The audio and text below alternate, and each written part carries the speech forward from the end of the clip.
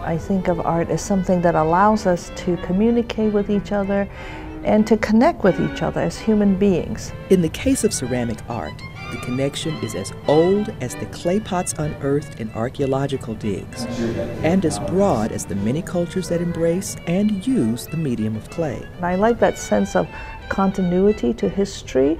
It's a very human kind of activity. Um, almost any culture made clay things because it's found, clay is found throughout the whole world. The ability to create art from clay is celebrated and preserved at the University of Dallas.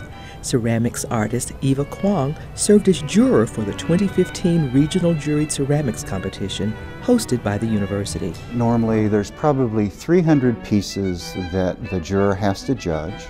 And out of the judging of that, they generally take somewhere between 50 and 65 pieces. The level of craftsmanship and ideas here is really quite wonderful. As a highly so respected artist herself, Kwong appreciates the process inherent in creating beautiful work. All this represents a lot of work, a lot of trial and error, a lot of experimentation, and a lot of effort, you know, a lot of work went into before they could achieve what they achieved. Kwong says she hopes visitors will see the results of that artistic effort in the work she selected for the show. I try to look for things that are well made, for example, so I think craftsmanship is important, whether it's a small thing or a big thing, whether it's functional or not functional, whether it's sculptural.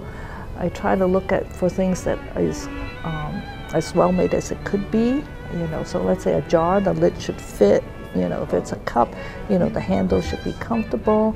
You know, if you're making an elephant, it should look like an elephant, that kind of thing. This competition is one way to keep ceramic art alive and thriving. For me, and those that have been able to see the show previously, you get to see the way the artist is finding their voice and how they're able to grow and mature that voice.